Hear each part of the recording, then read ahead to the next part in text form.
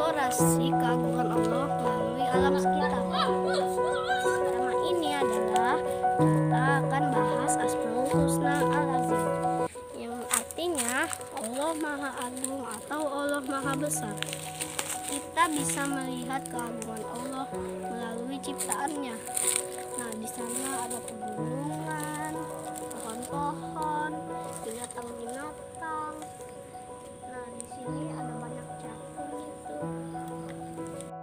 Nggak es kelapa yang kita suka minum?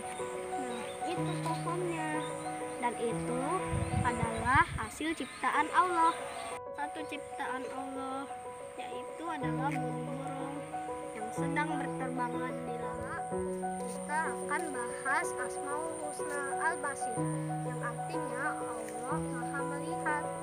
Nah, Allah bisa melihat semua aktivitas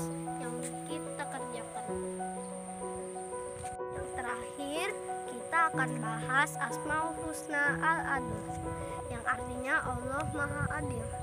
Semua ciptaan Allah sudah dijamin rezekinya. Contohnya padi-padi ini itu semua untuk kebutuhan manusia.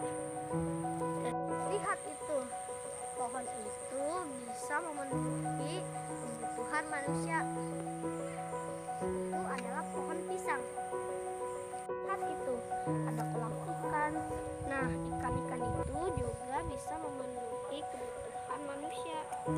Ikan-ikan itu pun sudah ada rezekinya.